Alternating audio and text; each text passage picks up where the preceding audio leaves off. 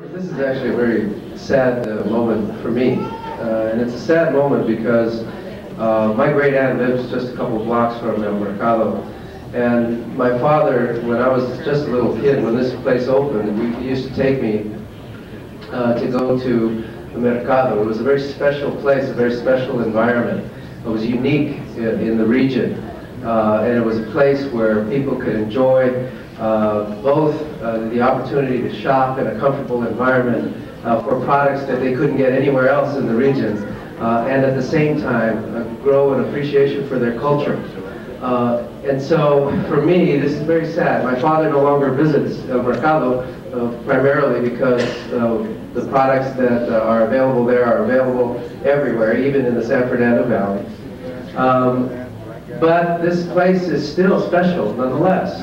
Um, and yet, uh, we, we have to come to grips with a reality in the city.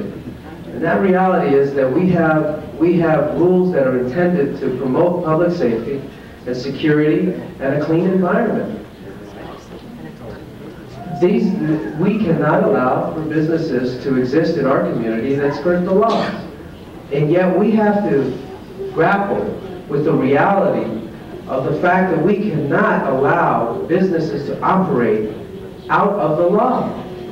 And it is wrong for us to think that just because we share a culture, that we're going to allow somebody to come into our community and, and just ignore the rules.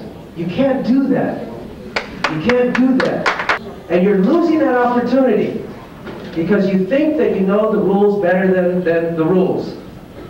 You can't do that. Now I am I am ashamed that this establishment has allowed uh, that you have allowed this establishment to deteriorate. And I think that you should work harder with these people to promote it in the way that it was when I was a child. And I was very proud of this place. And I believe you to do that. It's your decision because we are going to make a decision that runs counter to that, to, to what you are going to do.